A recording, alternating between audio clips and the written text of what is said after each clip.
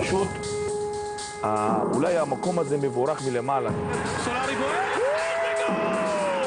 לקחנו את האליפות, זה היה חלום לי במיוחד ולהרבה הרבה הרבה אנשים בקריית שמונה. ויש לנו אלופה, עירונית קריית שמונה. ואנשים קריית שמונה זה אנשים מדהימים. שמע, אני נהנה, אני אוהב אותם. הרבה לפני שבקריית שמונה העזו לחלום על ליגת האלופות, או אפילו על קבוצה בליגה הבכירה, עמית גל, ההוא מהכדורסל, כיכב בקבוצת הכדורגל המקומית. השחקתי עם הפועל קריית שמונה, שמתי שני גולים, קיבלתי אז כותרת, בחדשות הספורט, מחנה של הגליל העליון. בוקר טוב חבר'ה, נוסעים לליגה האלופות הלילה. אלברטו הוא עוזר איש המשק של המועדון.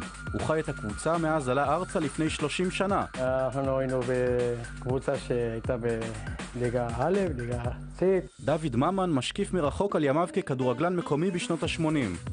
אבל גם בתור קצין כיבוי אש כיום, הוא מחובר מתמיד לכדורגל.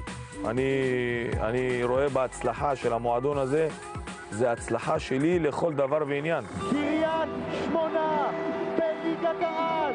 ליגת האלופות? בטח. ואנחנו נהיה בליגה האלופות, בעזרת השם. צחקו כולם, לא האמינו. אני האמנתי בזה ואני אמרתי.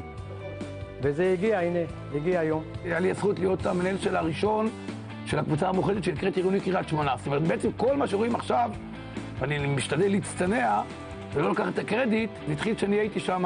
ימי ליגה א' העליזים, הייתה ליגה עם המון אה, תחרותיות, אבל עם פחות יוקרה. תוך שנתיים עלינו ליגה א', ליגה ארצית.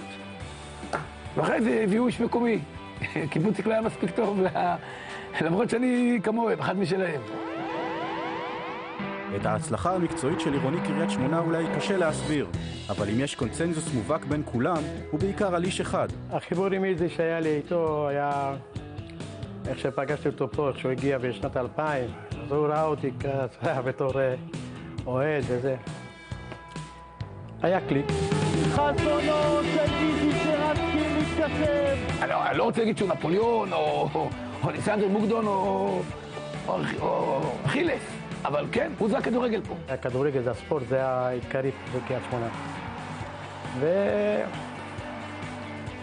והוא עשה את זה. ההזדמנות עכשיו של אבו חצרה, 2-0!